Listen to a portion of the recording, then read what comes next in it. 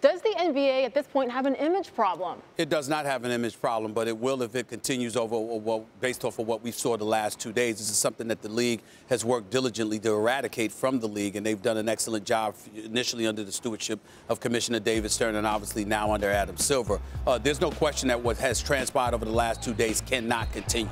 That is definitely bad for the league and it's certainly not good in this particular day and age with the fallout from Colin Kaepernick, with folks out there looking for an excuse uh, to turn their ire towards the modern day black athlete. So there's certainly something that you have to be cognizant of. But in the end, uh, these incidents are few and far between. It's not a violent league by any stretch of the imagination, and I don't think there's a problem has the opposite of an image problem. It has the image all the other leagues want. Baseball feels irrelevant to youth culture.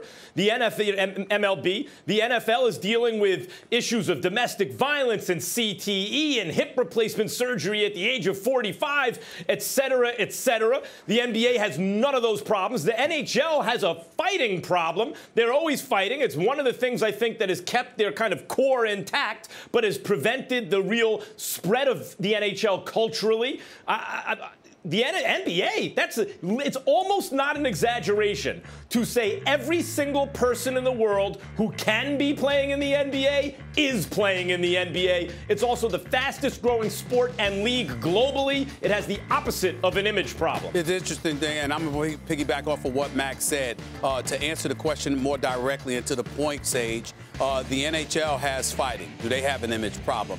Major League Baseball has this tradition where they get to police themselves to the point where we guys getting suspended isn't even a big deal. Do they have a problem? No. We talk about this when you have African American athletes in the sport of the National Football League or the NBA, and all of a sudden it's an image problem. I don't think that's fair at all for a lot of people who may feel that way. It's not an image problem with the NBA, it's a societal issue and their willingness to stigmatize the league so easily.